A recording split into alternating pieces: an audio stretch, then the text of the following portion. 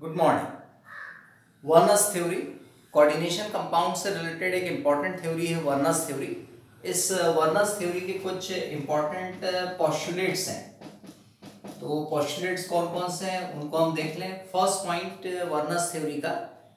Metal exhibit uh, यहाँ metal से meaning है सेंट्रल मेटल एटम और आयन जो भी हम यूज़ करते हैं कोऑर्डिनेशन कंपाउंड्स में।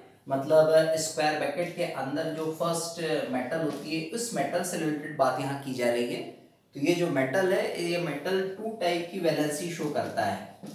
टू टाइप्स ऑफ़ वैलेंसी ये शो करता है। कौन?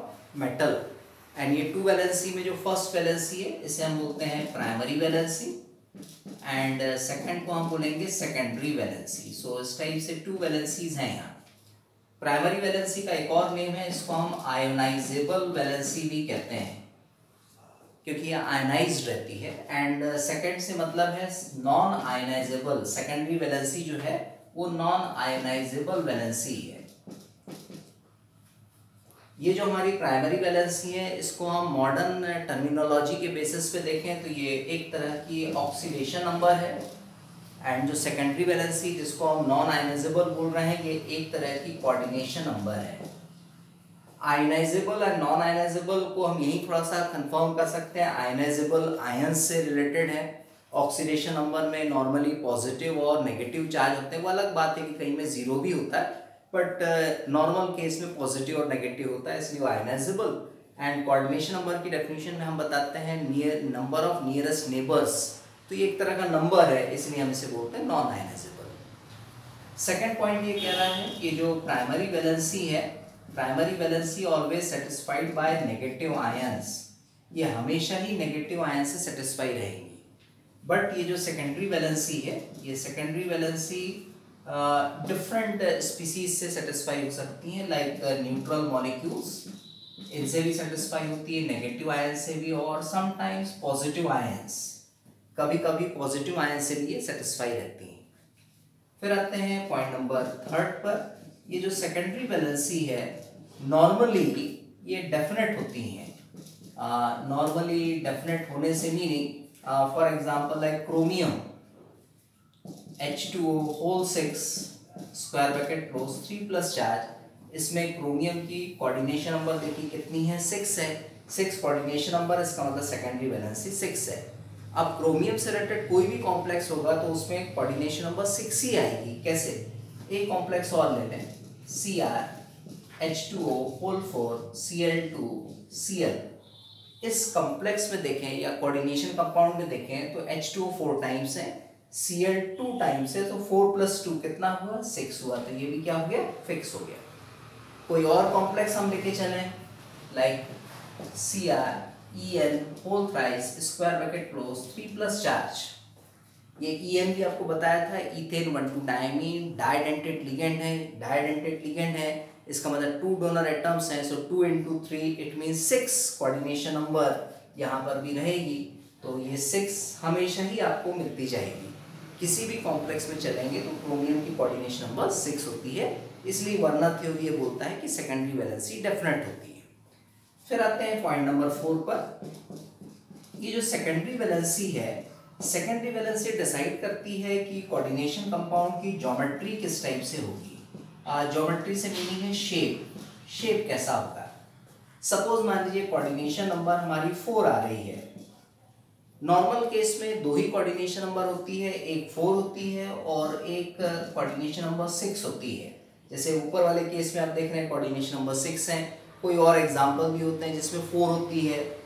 For example like N I C O whole four इसमें देखिए कोऑर्डिनेशन नंबर कितनी आ रही है? फोर आ रही है।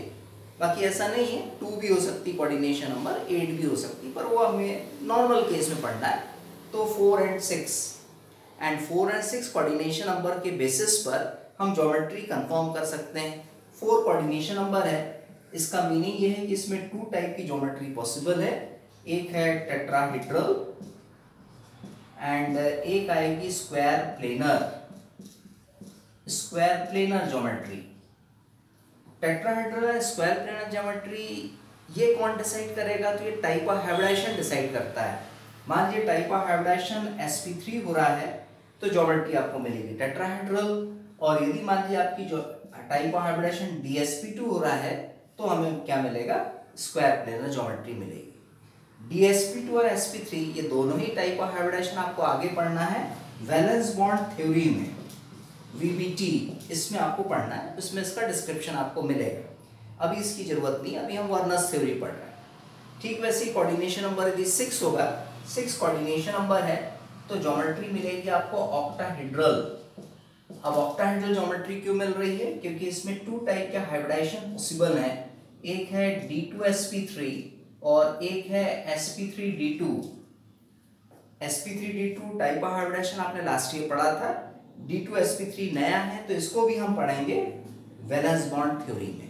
जब वैलेंस बॉन्ड थ्योरी स्टार्ट होगी तो जितने भी टाइप ऑफ़ हाइब्रिडाइजेशन है, इनको एक्सप्लेन किया जाएगा किस बेसिस पर? कोऑर्डिनेशन कंपाउंड्स के बेसिस पर। तो ये थे हमारे वर्नस थ्योरी के कुछ पोस्टुलेट्स इंपॉर्टेंट पोस्टुलेट्स अब एक इंपॉर्टेंट क्वेश्चन पर आते हैं।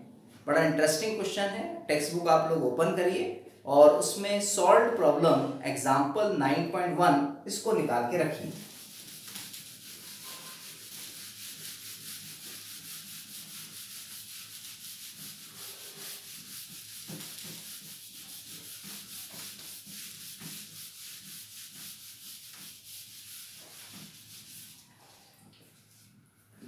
सभी ने शायद वो प्रॉब्लम निकाल के रख लिया होगा सामने। क्वेश्चन देखिए क्वेश्चन क्या कह रहा है? On the basis of the following observation एक ऑब्जर्वेशन है made with aqueous solution assign secondary valencies to metals in the following compounds मतलब उसमें हमको सेकेंडरी वैलेंसी को इंडिकेट uh, करना है बताना है कि सेकेंडरी वैलेंसी क्या होगी इसी थ्योरी के बेसिस पर। फाइव फॉर्मूलेज वहाँ पर गिवन है। ऐसा लिखा है formula and number one first formula PD Cl2 dot 4NH3 and then second NiCl2 dot 6H2O with then third PTCl4 dot twice HCl with then fourth COCl3 dot 4NH3 and last formula given है PTCl2 dot twice N S three इस type से ये formulas वहाँ given है और second column में दिया है मोल्स ऑफ़ एजीसीएल मतलब एजीसीएल के मोल्स दिए हैं। मोल्स ऑफ़ एजीसीएल और एजीसीएल का फॉर्मेशन कैसे होगा? तो आगे लिखा है प्रेसिपिटेटेड पर mole of the compounds with excess A G N O three मतलब A G N O three के साथ रिएक्शन कराएँगे ए पूरे के पूरे कंपाउंड्स की, तब एजीसीएल का फॉर्मेशन होगा। और वहाँ पर जो एजीसीएल के मोल्स हैं फ़र्स्ट केस में टू फिर देन टू फिर then zero one and zero इस तरह से ये हमारा क्वेश्चन है। अब क्वेश्चन का मीनिंग थोड़ा सा अच्छे से हम समझ लें कि क्वेश्चन कह क्या रहा है। सपोज़ मान लीजिए एक हमारे पास कंटेनर है एंड इस कंटेनर में हम फ़र्स्ट फिल कर रहे हैं पहला formula P D C L two dot four N S three ये हमारे पास एक सॉल्ट है सॉल्ट को हमने इसके अंदर डाल दिया। साथ ही साथ ए जी एन ओ थ्री को भी हम इसमें डाल रहे हैं ए जी एन ओ थ्री ध्यान रखेंगे कि A G N O three excess में है। अब इस सॉल्ट की रिएक्शन हो रही है AgNO3 से और उसके बाद प्रेसिपिटेट का फॉर्मेशन हो रहा है पीपीटी बन रहा है ये। एंड ये पीपीटी बन रहा है AgCl का।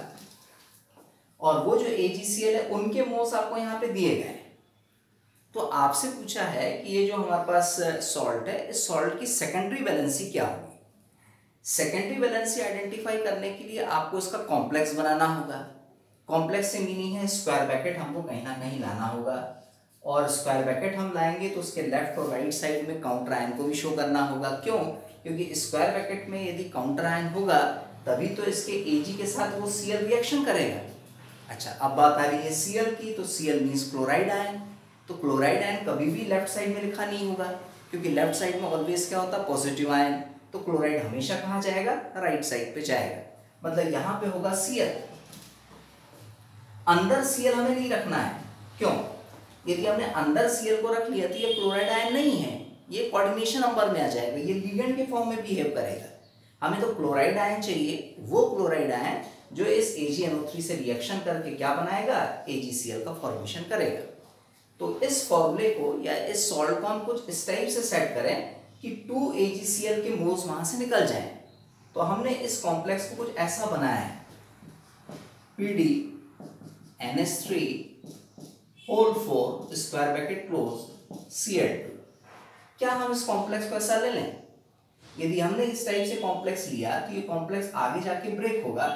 ब्रेक किसमें होगा, देखेंगे। P D N S three whole four square bracket close two को यहाँ लेंगे। रेसिप्रोकल फॉर्म में it means two plus and C L minus यहाँ से रिमूव हो जाएँगे। और कितने सी एल रिमूव होंगे? तो टू सी एल तभी ये इक्वेशन बैलेंस होगी। पहले चार्जेस देखिए बैलेंस है कि नहीं? Two plus and two minus balance है two C L two C L balance one P D N S C four N S C four सारा का सारा बैलेंस है। और ये जो हमारा टू सी एल माइनस है, ये two C L minus A G plus से रिएक्शन करेगा। A G plus A G N O three में ए जी प्लस आए हैं और ये एक्सेस में है। तो जितने चाहे उतने हम ए जी प्लस का यूज़ कर सकते हैं। यहाँ टू सी एल है तो definitely two A G plus आएगा एंड मॉलिक्यूल फॉर्म करेगा two A G C L two A G C L के मॉलिक्यूल्स फॉर्म हो गए इसका मतलब टू मोल्स बन गए ए जी सी एल के अब आपसे सेकेंडरी वैलेंसी पूछी है तो सेकेंडरी वैलेंसी आपको कॉम्प्लेक्स में मिलेगी, ये कॉम्प्लेक्स है, इसमें कोऑर्डिनेशन नंबर फोर है, इसका मतलब इसकी सेकेंडरी वैलेंसी कितनी होगी? फोर इस टाइप से आपने कैलकुलेट करना है। शायद मीनिंग क्लियर हो गया होगा। ये फ़र्स्ट का आंसर हुआ। अब आते हैं अपन सेकंड पर। अब सेकंड में हम किस टाइप से सेकेंडरी वैलेंसी को कैलकुलेट करें? सेकंड क्या है? NiCl2.6H2O तो हम यहाँ इमेजिन करें कि हमने यहाँ सॉल्ट डाला है NiCl2.6H2O ये हमने यहाँ पे डाल दिया। और एक्सेस AgNO3 है प्रेसिपिटेट का फॉर्मेशन हो रहा है AgCl बन रहा है। और कितने मोल्स बन रहे हैं? टू मोल्स मतलब यहाँ भी टू मोल्स बन रहे हैं AgCl के। मतलब ये हमारा एक्सपेरिमेंट चल रहा है। तो ये कॉम्प्लेक्स किस टाइप से होगा? अब हमें काफ़ी कुछ आइडिया हो गया है कि जो स्क्वायर ब्रैकेट होगा, उसके बाहर कम से कम दो सीएल होने चाहिए। तो वो दो सीएल होंगे तो डेफिनेटली दो एजी के साथ ट्वाइस एजी सीएल बनाएगा। तो इसके लिए हमारा कॉम्प्लेक्स सीधा सीधा बन गया N I H two O whole six square bracket close C L two पूरी चीज़ें हैं या नहीं देख लें? One N I one N I हमने ले लिया। H two O six times H two six times हो गया C L two C L two हो गया, पूरी चीज़ कंप्लीट है। इसमें आप कोऑर्डिनेशन नंबर देखें, कितनी है सिक्स इसका मतलब है कि इसकी जो सेकेंडरी वैलेंसी है, ये कितनी हो गई है? सिक्स हो गई। फिर आते हैं थर्ड केस में। थर्ड केस देखें क्या PTCl4 four dot twice H C L मतलब अब हमने यहाँ P T C L four डालना है। Dot twice H C L इस कॉम्प्लेक्स को हमने इसमें डाल दिया। और इसके बाद क्या बोला है उसने? ज़ीरो मोल ऑफ़ एजीसीएल मतलब एजीसीएल बन ही नहीं रहा है अब इस केस में। प्रेसिपिटेट का फॉर्मेशन ही नहीं है। अब प्रेसिपिटेट का फॉर्मेशन नहीं है, इसका मतलब ये हुआ कि जो भी कॉम्प्लेक्स हम बनाएँगे, उसमें काउंटर आयन होगा ही नहीं। यानी क्लोराइड काउंटर आयन होगा ही नहीं। जब क्लोराइड काउंटर आयन है ही नहीं तो वो एजी प्लस के साथ कंबाइन नहीं होगा और जब कंबाइन नहीं होगा तो एजीसीएल का कोई प्रेसिपिटेट नहीं बनेगा। तो उस सिचुएशन में P T C L two sorry P T C L four dot twice H C L इसका फॉर्मूला कैसे बनाएँगे? तो कुछ ऐसा बनाएँगे। H two P T C L six square bracket close H two hydrogen positive होता है तो लेफ़्ट साइड में ले लिए। कितने हैं वो? एच टू टाइम्स हैं one P T C L six six C L कैसे? Two C L and four C L six C L so इसकी कोऑर्डिनेशन नंबर हो गई सिक्स वन पी टी है हाइड्रोजन टू टाइम्स तो ये hydrogen हमने ले लिया। इस कॉम्प्लेक्स का नेम क्या होगा? तो डायहाइड्रोजन हेक्साक्लोरोप्लेटिनेट एंड फिर ब्रैकेट में इसकी ऑक्सीडेशन नंबर इस टाइप से कॉम्प्लेक्स का नेम बनेगा. कोऑर्डिनेशन नंबर देखें कितनी है? सिक्स है. इसका मतलब इसकी भी सेकेंडरी वैलेंसी कितनी आएगी? सिक्स आएगी. सेकेंडरी वैलेंसी सिक्स ये आपको मिल जाएगी.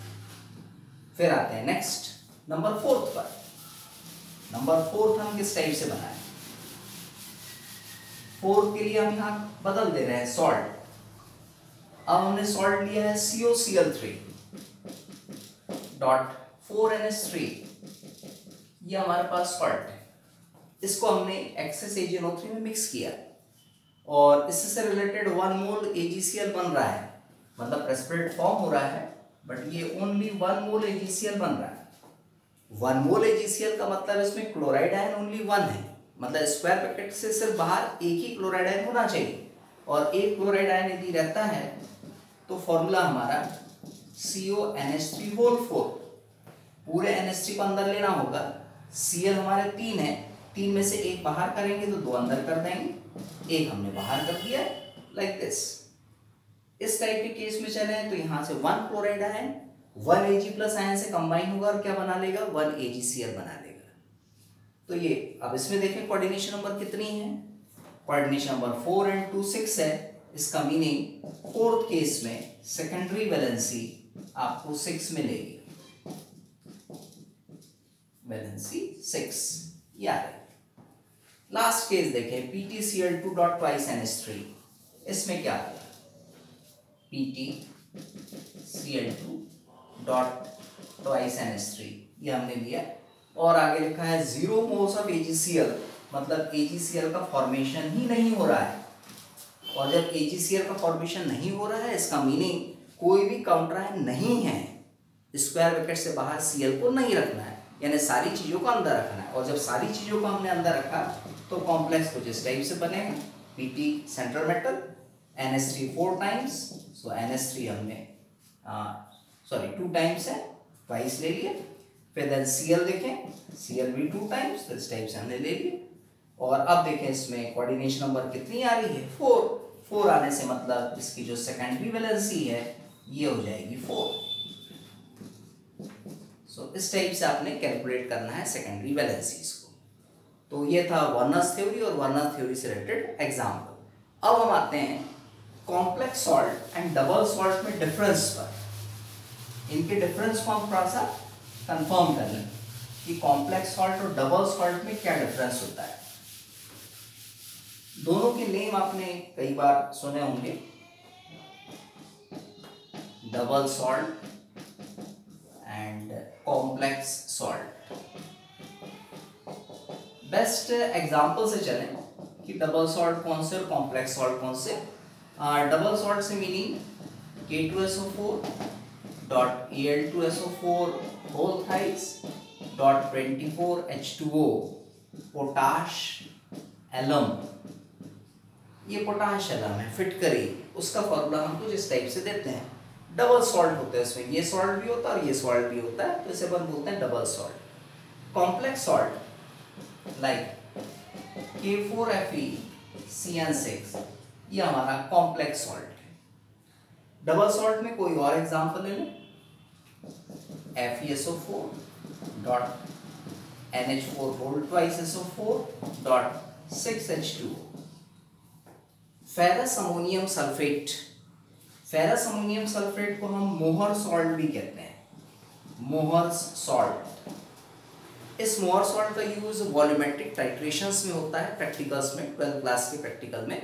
मोहर सॉल्ट का आपको यूज़ करना पड़ेगा अगेंस्ट केमिनोफोर मतलब केमिनोफोर और मोहर सॉल्ट के बीच में टाइट्रेशन आपको करा के अननोन सोल्यूशन की वैल्यू कैलकुलेट करना पड़ेगा। इसको आगे देखेंगे। ये मोहर सॉल्ट ये भी डबल सॉल्ट है ferrous sulphate and ammonium sulphate दोनों का कॉम्बिनेशन है तो ये डबल सॉल्ट है।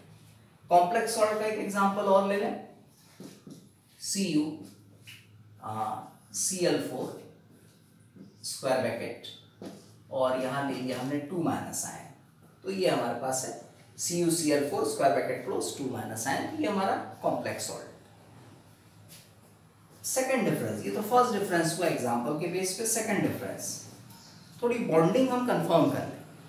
ये जो डबल बॉन्ड डबल सॉल्ट है, इसमें आयनिक बॉन्ड्स होते हैं। आयनिक बॉन्ड्स कोऑर्डिनेट बॉन्ड कभी भी नहीं होता है। कॉम्प्लेक्स सॉल्ट के केस में यदि हम चलेंगे तो कॉम्प्लेक्स सॉल्ट में कोऑर्डिनेट बॉन्ड कंपलसरी है। कोऑर्डिनेट बॉन्ड यदि नहीं होगा तो कॉम्प्लेक्स सॉल्ट बने नहीं पाएगा।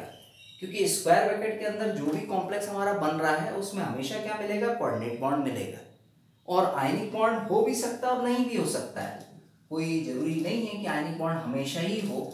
जैसे मान लीजिए इस केस में चले तो कोई आयनिक बॉन्ड नहीं है बट इस केस में चलेंगे तो आयनिक बॉन्ड यहाँ प्रेजेंट है। तो मे बी और may not be ionic bond but coordinate bond is compulsory but यहाँ कोऑर्डिनेट बॉन्ड कभी नहीं होगा डबल सॉल्ट के केस में।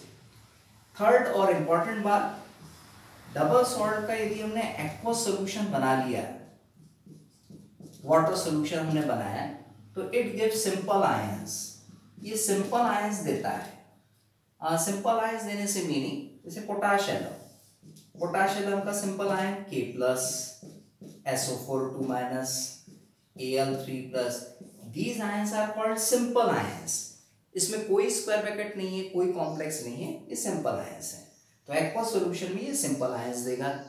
एंड uh, ये जो है हमारा कॉम्प्लेक्स सॉल्ट है ये कॉम्प्लेक्स सॉल्ट सिंपल आयन तो देता ही है, साथ में कॉम्प्लेक्स आयन भी देता है। जैसे मान लीजिए K four F C N six K plus simple ion but F C N six four minus ये हमारा कॉम्प्लेक्स आयन है। तो एक सिंपल आयन दे रहा है, एक कॉम्प्लेक्स आयन दे रहा है। मतलब ज़रूरी नहीं कि सिंपल आयन हमेशा ही दे। जैसे इस कॉम्प्लेक्स में चले, ये सिर्फ़ कॉम्प्लेक्स आयन देगा सिंपल देगा ही नहीं। बट इस कॉम्प्लेक्स में चले तो सिंपल भी देगा और कॉम्प्लेक्स आयन भी देगा। तो इस टाइप से हमारी ये मेन डिफरेंस है double salt and complex salt thank you